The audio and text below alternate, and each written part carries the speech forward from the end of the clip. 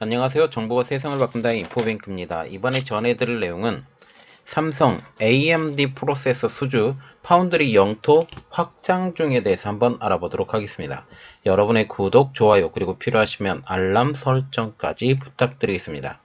작년 CPU 시장에서 인텔과 AMD의 맞대결에서 지금 AMD가 쭉 치고 올라오고 있는 사이에서 지금 다시 인텔이 승기를 잡고 있는 형세라고 지금 분석이 나오고 있습니다. 일각에서는 인텔의 기세가 얼마나 뛰어났는지 왕의 귀환이라고 언급할 정도이죠.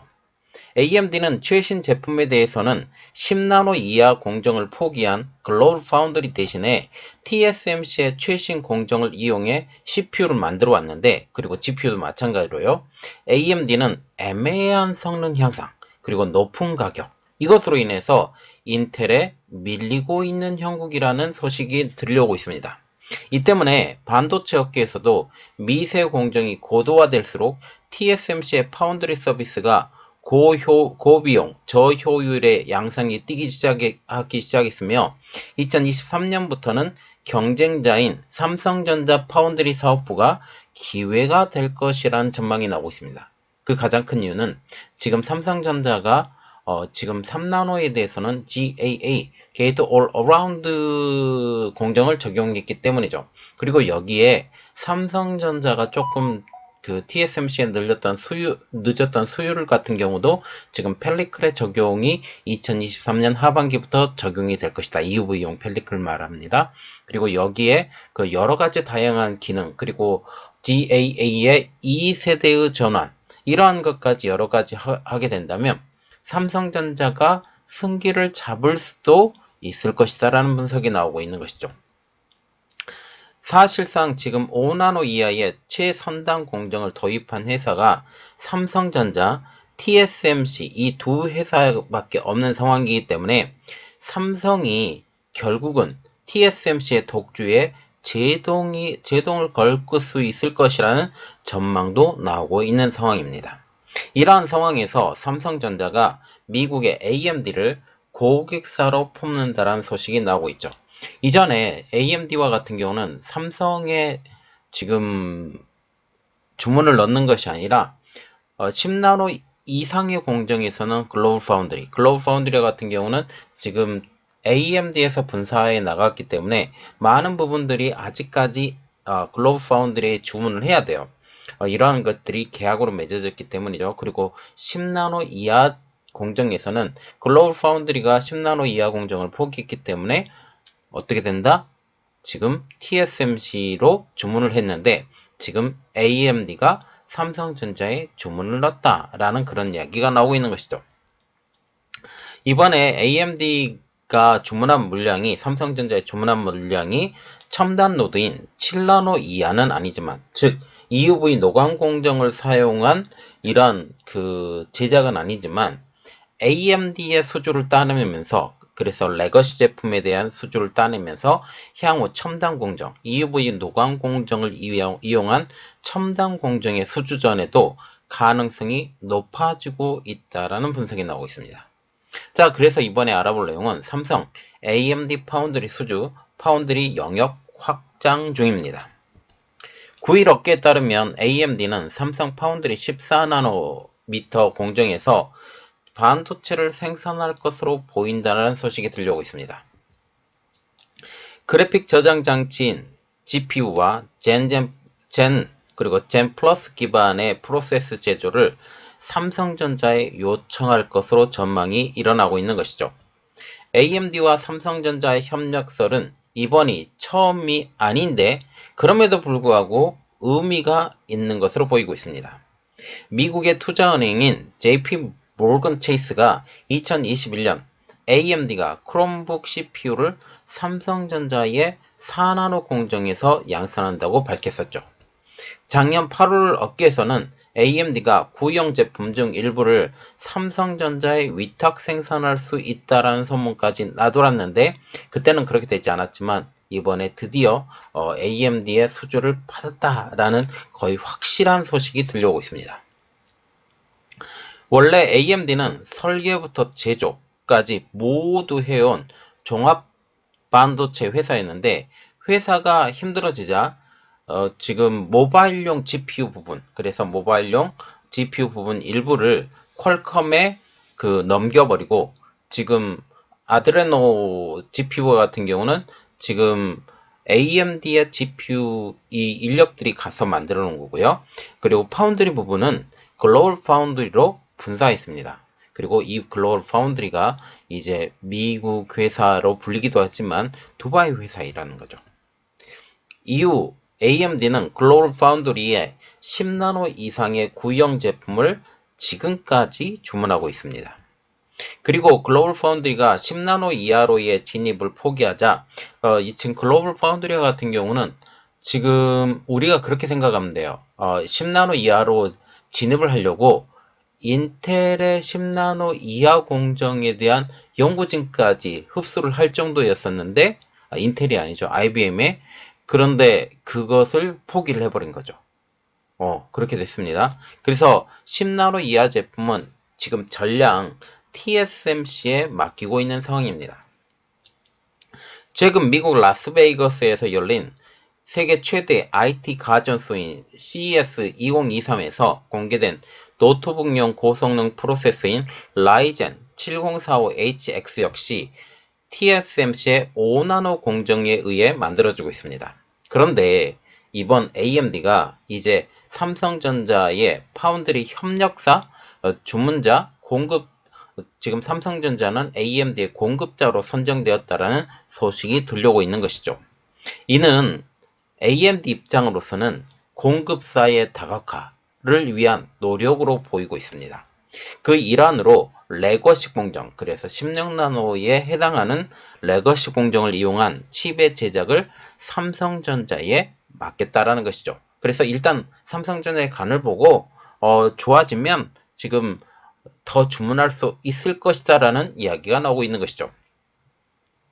이번 수준은 향후 미세 공정 기반의 첨단 칩을 늘리면서 구형뿐 아니라 7나노 이하 제품까지도 삼성의 공정에서 생산될 것으로 지금 전문가들은 예상하고 있는 것입니다. 미세 공정 개발을 중단한 글로벌 파운드리와 달리 삼성전자는 3나노 기술까지 확보한 상황이죠. 특히 3나노화 같은 경우는 GAA, Gate All Around, 지금 1세대이기 어, 때문에 Gate All Around Early 버전이 지금 돼 있는 상황이죠.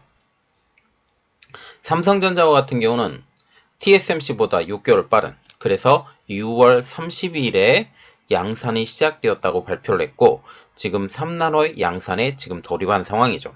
TSMC도 어, 이보다 6개월이 늦은 12월에 지금 3나노의 양산에 들어간 상황입니다. 삼성과 같은 경우는 핀팻 대비 더 세밀하게 전류 흐름을 제어할 수 있는 차세, 차세대 트랜지스 구조인 GAA를 이용한 양산에 성공을 한 것이죠. 2025년에 2나노 그리고 2027년에 1.4나노 공정을 도입하며 그래서 14옹스트롱 20옹스트롱 공정을 도입하며 기술 혁신을 지속하겠다라는 포부를 가지고 있습니다. AMD의 공급사 전략에 지정학적 이슈도 영향을 미친 것으로 파악되고 있는데요. 작년 초 우크라이나 전쟁 이후 중국이 대만을 호시탐탐 노리고 침공 우려가 높아지고 있는 상황이죠. 그리고 지금 중국은 대만 해협에서 군사훈련을 진행하며 군사적 압박을 지속적으로 강화하고 있습니다. 그래서 여기서 어떤 틈만 보이면 미국이 도와주지 않는다라는 그러한 시그널만 오면 어, 지금 대만을 쳐들어갈 수 있다. 특히 TSMC 때문에 대만을 어, 자신의 땅으로 복속시켜야 된다라고 중국은 생각을 하고 있는 것이죠. 중국 시진핑 국가주석은 작년 10월 당대회 때 무력 사용을 통해서라도 대만의 흡수 통일을 해야 한다라고 밝힌 적이 있었습니다. 중국의 침공이 정말 현실화되면 반도체 공급망, 그래서 대만을 통한 전 세계 반도체 공급망이 우려가 무력화가 될 수 있다라는 우려가 지금 나오고 있는 상황이죠. 세계 파운드리 시장의 절반 이상을 담당하고 있는 대만, 어, 지금 어, 대만의 TSMC뿐만 아니라 지금 유수의 회사 UMC나 VIC와 같은 회사도 지금 파운드리 회사로 상당히 이름을 날리고 있는 상황에서 이러한 상황이 된다면 지금 세계 반도체가 중국을 바라볼 수밖에 없는 그러한 상황이 되죠. 그래서 TSMC도 어, 이러한 미국의 요청에 의해서 미국 애리조나주의 어, 애리조나주 피닉스에 지금 공장을 짓고 있고 삼성전자 이에 맞춰서 지금 텍사스주에 공장을 짓고 있는 상황입니다. 이를 대비하고자 AMD는 삼성과의 협력을 추진하고 있는 것이죠. 그래서 지금 어, 최첨단 공정은 지금 대만에서만 하고 있습니다. 이러한 상황에서 여러 가지 지정학적 위치 그리고 어, 너무 TSMC와에게 어, 끌려다니면 안 된다라는 그런 생각 때문에 그렇게 하는 거죠. 여기에 AMD가 가지고 있는 한 가지 문제가 더 있으니 그것은 바로 인텔의 귀환입니다. 인텔 AMD 관계자 등에 따르면 올해 하반기를 기점으로 인텔의 12나노 어, 작년 하반기죠. 작년 하반기를 기점으로 인텔의 12나노, 13나노 코어 프로세스 판매량이 눈에 띄게 상승세를 나타나고 있다라는 점이죠. 그래서 지금 왕의 귀향. 그렇지 않아도 인텔의 점유율이 계속적으로 떨어져 가고 있었는데 작년 말부터 시작해서 12세대, 13세의 코 프로세스가 불티나게 팔리기 시작한 것입니다. 아직 공식적인 하반기, 작년 하반기죠. 작년 하반기 시장 점유율 통계는 나오진 않았지만 AMD가 발표한 3분기 실적에서 소비자용 CPU를 판매하고 있는 클라이언트 부분 매출이 7억 달러, 약 8,900억 원 이상 감소하며 인텔에 비해 가파른 하락세를 드러냈기 때문이죠. 물론 작년이 어, 지금 작년 하반기를 보면 어, 하반기 때 이렇게 생각하면 돼요. 완성 제품들이 판매가 많이 되지 않았습니다. 완성 제품 많이 판매가 되지 않았다는 것은 그만큼 CPU와 GPU의 판매가 줄었다라고 볼 수 있는데 지금 인텔의 하락에 비해서 AMD의 하락이 훨씬 더 크다라는 점에 우리가 주목을 해야 된다라는 거죠. 눈여겨볼 점은 올해 양사, 작년에 양사의 경쟁 구도에서 AMD의 최대의 무기나 다름없던 TSMC의 최신 공정이 비용 대비 효율성 측면에서 이렇다 할 장점을 보여주지 못하고 있다라는 점이 지적되고 있습니다.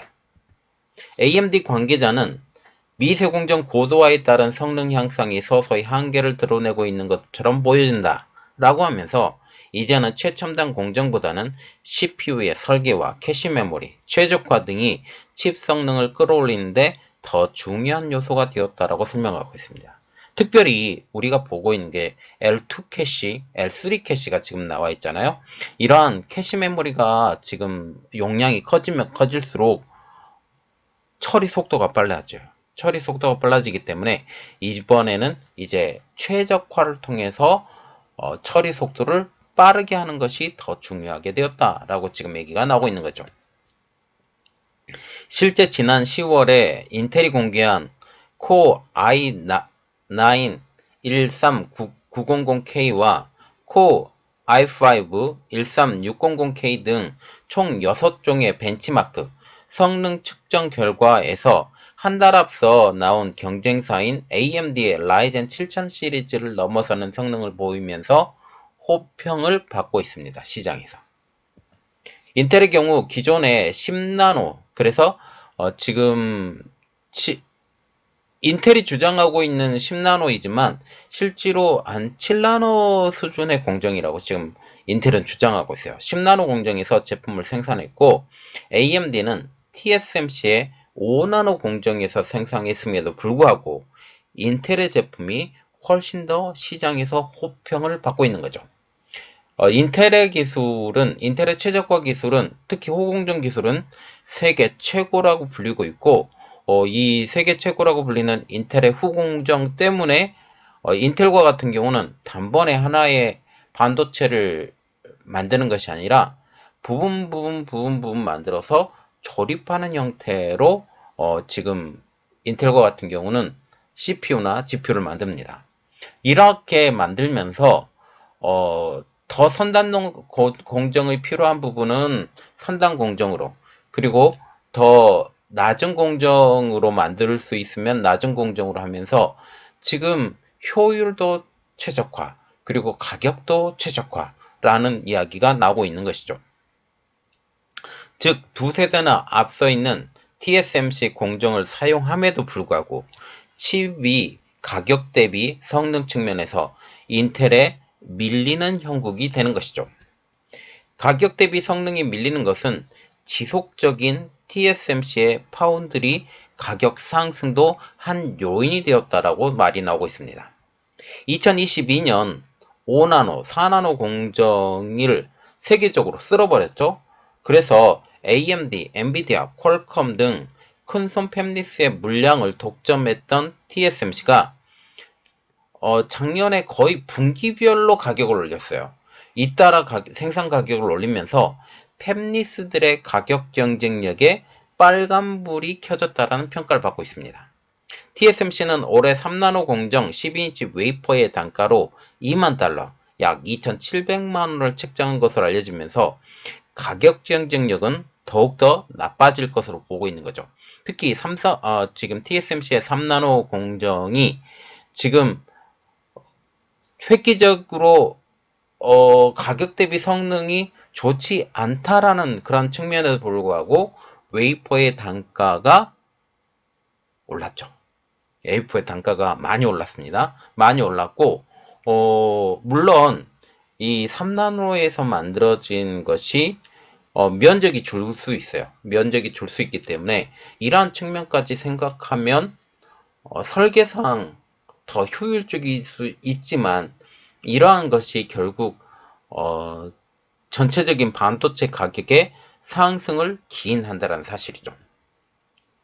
이 가격은 기존 5나노 공정 웨이퍼 단가인 1만 6천 달러 한화로 약 2,100만 150만 원보다 25% 정도 인상된 수준인데 성능은 그렇게 따라가지 못한다라는 분석이 나오고 있는 것이죠. 이 때문에 반도체 미세 공정의 난도가 높아질수록 생산 공정, 마케팅 등 모든 과정을 수직 계열화해서 직접 수행하는 종합 반도체 기업 IDM이 훨씬 더 유리하다는 분석이 나오고 있습니다.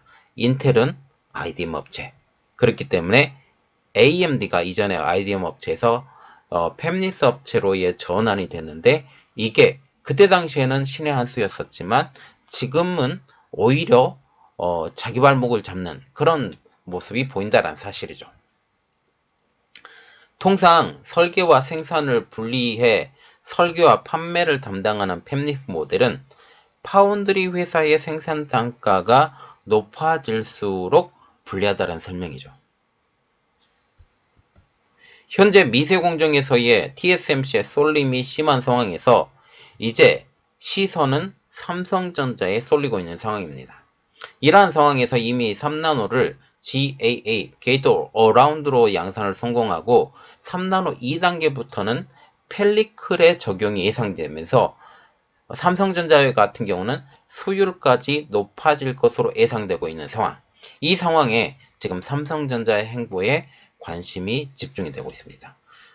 이번에 삼성전자가 하반기에 펠리카를 적용하는데 수율이 얼마까지 올라갈 것인가에 대해서 사람들이 관심이 집중되고 있고 이렇게 되고 또 미세 공정의 어, 정확도 이것은 얼마나 튀어오를 것인가 이것도 관심이 집중되는 사실이죠.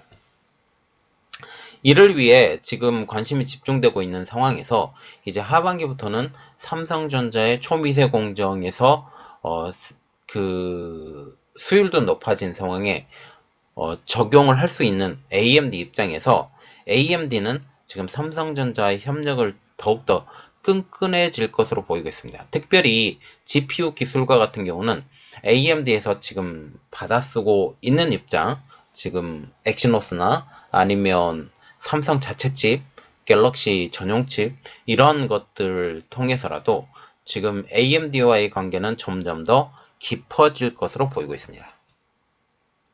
이 때문에 삼성전자는 AMD로부터 주문을 받아 수주를 더욱 확대할 것으로 기대하고 있는 것이죠. 시장 조사업체인 트랜스포스에 따르면 삼성전자는 작년 3분기 기준 파운드리 점유율 15.5%를 차지했습니다. 선두인 TSMC가 56.1%와 비교하면 무려 격차는 40.6%나 나타났다라는 거죠. 자, 그래서 15% 정도, 60% 정도 거의 체격 차이가 4배 차이인데 지금 삼성전자와 같은 경우는 이 4배 차이를 극복하기 위해서 공장을 더 짓는 아, 이러한 것들을 아, 속도전을 지금 나가고 있는 거죠. 이제 AMD까지 삼성의 고객사로 편입이 되면서 미세 공정에서의 TSMC와의 경쟁이 서서히 주목을 받고 있습니다. 자, 지금 보시면 어, 삼성전자는 계속적으로 AMD가 자신의 편에 서기를 바, 바랬어요. 그리고 실제로 어, GPU에 대해서 기술을 가져온 것도 장기적인 포석 물론 GPU 부분에서 어, 말리가 그 ARM의 말리가 성능이 떨어진 건 사실이에요. 그것과 동시에 AMD의 기술을 사용해서 AMD와 관계가 더 끈끈해지고 향후 GPU 부분에서 어, 이 최적화를 통한 생산까지 가능하게 되면 지금 삼성전자와 AMD가 어, 협력을 안 할 이유가 없게 되는 거죠. 이러한 것까지 우리가 한번 생각을 해보도록 하겠습니다. 더 자세한 내용이 나오게 되면 여러분들에게 빨리 알려드리도록 하겠습니다. 이번 내용은 여기까지 하겠고요. 저희 내용이 여러분들에게 도움이 되셨다고 생각을 하시면 구독, 좋아요, 그리고 필요하시면 알람 설정까지 부탁드리겠습니다. 감사합니다.